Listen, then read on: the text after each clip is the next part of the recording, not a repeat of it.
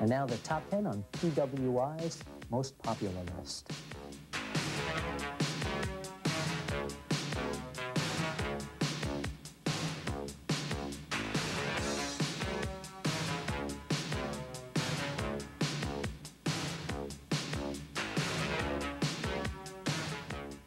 You just saw our most popular ratings. Now, speaking about most popular, Sir Oliver Humperdink, Paul, Mr. Wonderful Orndorff, Bam Bam Bigelow, three men, two wrestlers managed by Sir Oliver Humperdink in the WWF, and you fans are cheering them. I don't want to say this, but are you crazy? Sir Oliver Humperdink is one of the most notorious managers in the history of wrestling. He had the House of Humperdink. He's managed so many rule breakers, I've lost count.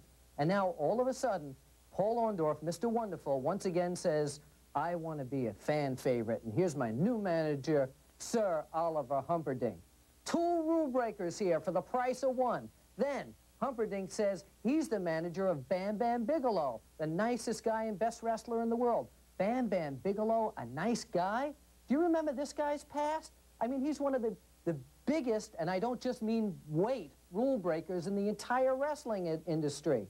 Let me tell you something, fans. Before you start cheering for these three, take a good look in our magazines at their past and then decide whether you should cheer them or boo them. For Pro Wrestling Illustrated magazine, I'm senior editor Bill Apter. Now back to Joe and Gordon.